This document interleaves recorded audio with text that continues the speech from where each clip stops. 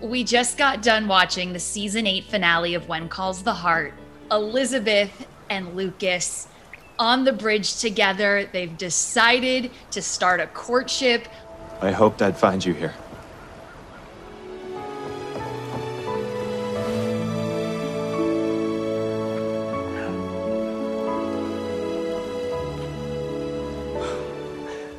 Erin, what's your immediate reaction?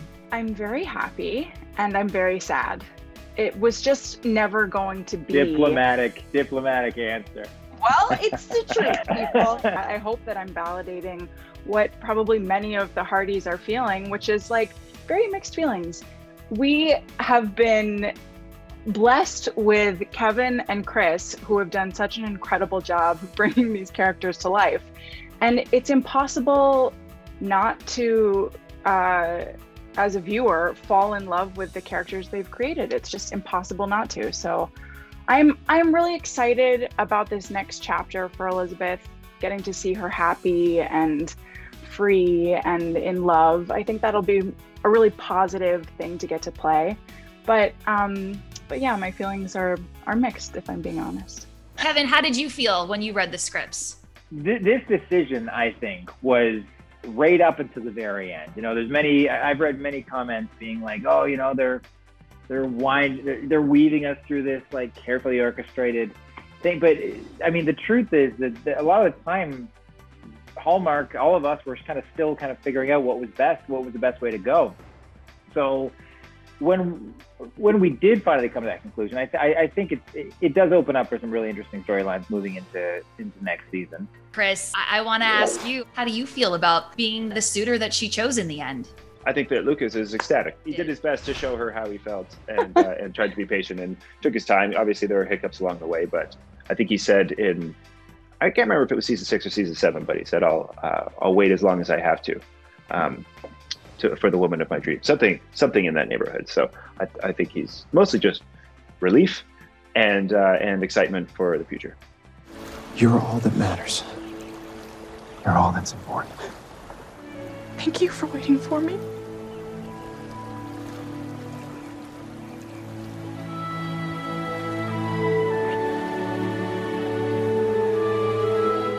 In the end, what do you think it was ultimately for Elizabeth that made her decide Lucas is really the right fit for me? For a long time, um, Elizabeth has just been kind of confused and overwhelmed by her feelings. And specifically, the connection that she's felt with Nathan over these past few years, it is undeniable. There's been a connection between these two characters. And I think for a long time, she was swept up in those feelings with Nathan, but didn't necessarily realize how much of it was because of Jack and what she was um, almost projecting onto Nathan. And so once she got to a point where she could see the difference between why she was feeling what she was feeling for Nathan and what she'd been feeling all along for Lucas, I think it became clear to her that one was absolutely love but the other was the other was hopefully her lifetime. That's going to be the person that she is in love with, her next great love story. The decision for Elizabeth and Lucas to be together, was that something you knew going into season eight, or was this kind of like a, a last minute, uh, up against the clock, we got to figure this out sort of deal? I will say the decision was made in season eight it was not made in the first episode. It was a very long, drawn out decision that involved many voices and brains. And um, yeah, it took a really long time. I think we would have been in really great shape with either decision. It just would have been a slightly different story. We have to talk about this absolutely breathtaking moment on the bridge.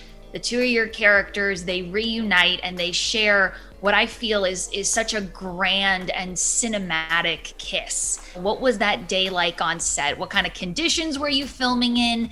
Did it feel different knowing that you were filming like such an important scene?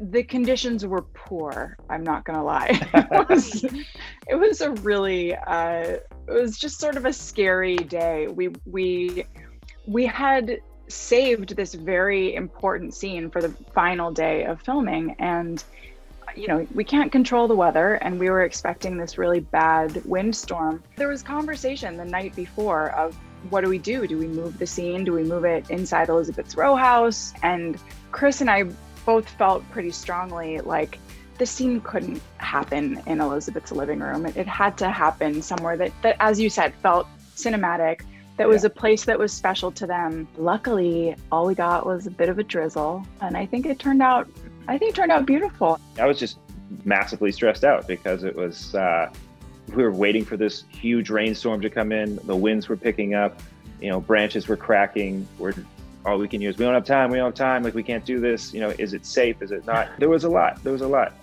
Uh, but at the end of the day, it all came together. For Lucas, it's it's a very powerful moment. I think they just both intuitively understand each other and know that they have come to the same place and common ground and that they can finally come together, no strings attached, and, and move forward. We wanted it to feel like it was this explosion of their passion and emotion, right? And that it wasn't just like one sweet romantic kiss. It was just like this I now that I have you, I don't want to take my hands off you kind of feeling.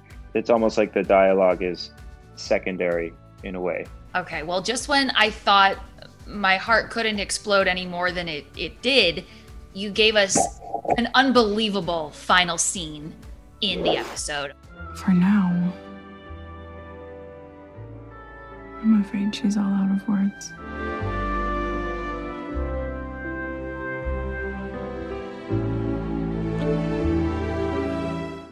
Why did you feel that this scene was a great way to to tie up season 8 with a bow?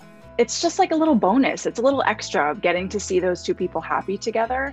And I think in addition to it being an opportunity for us to get to see Lucas and Elizabeth happy together, it's just nice to see Elizabeth with a smile on her face. And so I think ending season eight on a on a positive note, um, it's our promise to the fans of good things to come to quote Kevin McGarry from, I believe, an earlier conversation we had, it looks like this time it was Elizabeth who went to the mercantile and bought out the entire candles. all the candles. Yeah, yeah, all the candles. Everywhere else in Hope Valley, nobody can get any light. Nathan, I do love you. It'd be impossible not to. But I'm not in love with you. I'm just so sorry. How do you feel Nathan handled it? What was it like being in that scene? Yeah, that scene, that was all Erin. I just remember like thinking, I just got to listen and take this in. That's all I got to do. And we heard the Connor or one of the the grips. I think he was on my coverage, and Erin was like giving that monologue, right? Where you know, it's but, like it's the break. It's a very beautifully written breakup, and I'm just sitting there taking it. And then I think we heard Connor go, "Oh, that's brutal." like, oh god it was written that Nathan thanked her at the end. So I, I thought, you know, we owe it to the fans that have been with this. Like, you got to see him getting, you got to see him get his heartbroken, essentially. And I just thought it was better if he didn't say anything and he just took that in. How is he doing? You think he's heartbroken, gutted? Or you think yeah, yeah, I think he is totally heartbroken. Yeah, I mean, you know, he's, he he'll go on. We all get broken hearts, and that'll be you know a fun you know a fun thing to play. I hope he has some kind of redemption story of him, you know, building himself back up and and moving on. What does this next chapter of life for Nathan look like? I think you know there, there should be a little bit of mourning that, that we see at the beginning of season nine that, that Nathan's going to have to go through. What's so cool is that both these guys are still like on the show, so we, we get to see these after stories. We've all we've all seen, you know, the, the guy that gets the girl and the happy ever after, but like the guy that doesn't is still on the show. So there's this whole different you know storyline that's, that's going to come out of it. I think for sure we'll see Nathan's bond with Allie grow. That kind of comedy, you know, of, of this guy raising a daughter now as as a, as a father figure with no kind of female um, uh, input. How do you think she's going to handle still having Elizabeth as her teacher, but knowing that her uncle isn't with the woman that she wants him to be with? I think she's going to move into season nine. I think she's going to be more interested in her own love life. In all honesty, like what is she, fourteen? Like I I think she's made peace with that. I think she knows Uncle Nathan's fine. He's been through worse, but now I think she's. I mean, it'll be interesting to see. she's got her eye on Robert. Yeah, well, I mean, Nathan just got his heart broken. Now he's got to deal with, with, with uh, the young love love life of his niece. From one kid to another, from Allie, I want to talk a little bit about little Jack. Of course, now that Lucas is absolutely going to be a, a, heavier presence in Elizabeth's life, um, Chris, what can you tell me about the hopeful bond that we'll get to see between Jack and Lucas? Well, I hope we get some scenes uh, that don't get cut. This is what happened this year. We did one. Oh, that literally got cut. Lucas gave little Jack the toy dog or something like that, and said yes. uh, every little every little boy needs a dog. I, I'm looking forward to next season and working more with the Taylor twins and seeing Lucas in more of a father figure role. I have to congratulate the three of you. Such huge news. When Calls the Heart coming back for season nine. Is there a storyline that you're most excited to tell in season nine?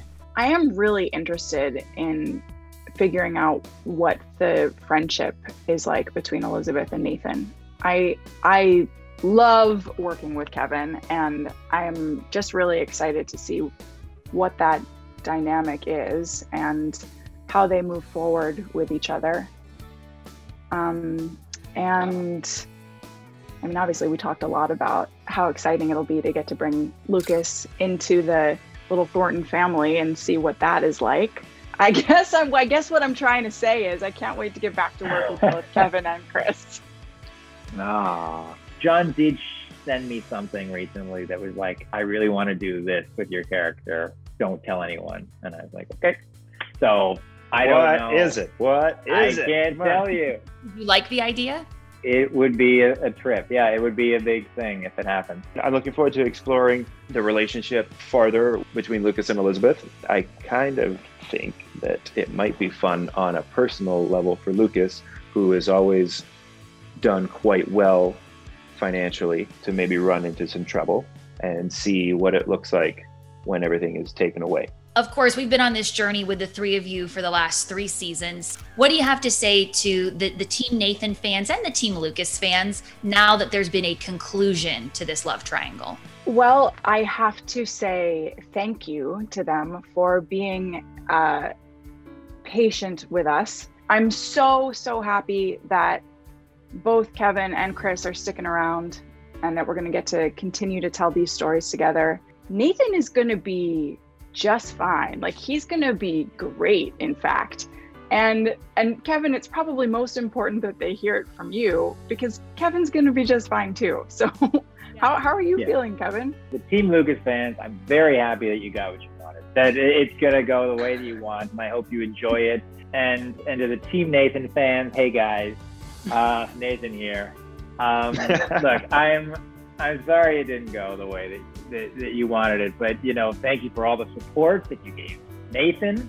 Um, but you know, at the end of the day, it is it, it's about Elizabeth's happiness and her heart's with Lucas. So we gotta we gotta be happy for for, for Elizabeth. But Team Nathan and Team Lucas, I think it's time to come together and be Team Hope Valley.